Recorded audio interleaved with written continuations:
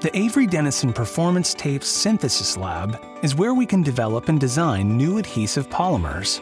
It's also where we can adjust properties of existing adhesives to meet the unique needs of a specific application.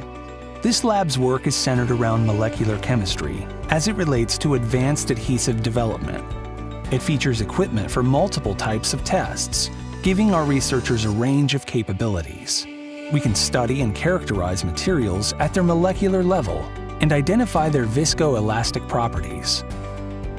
This is achieved through a test called DMA, which allows us to identify the glass transition temperature as well as the storage modulus of the polymer. DMA testing also helps us understand certain properties, such as ooze, creep resistance, and cross-linking effects of pressure-sensitive adhesives. Through the lab's gas chromatography testing, we can quantify and identify any volatile molecules that may be in the adhesive. This process is critical in the development of low VOC constructions. It provides the ability to either remove or trap the volatiles in new formations that meet various ASTM and regulatory requirements. Finally, we can understand how much energy is absorbed by an adhesive to help develop constructions that combat noise, vibration, and harshness.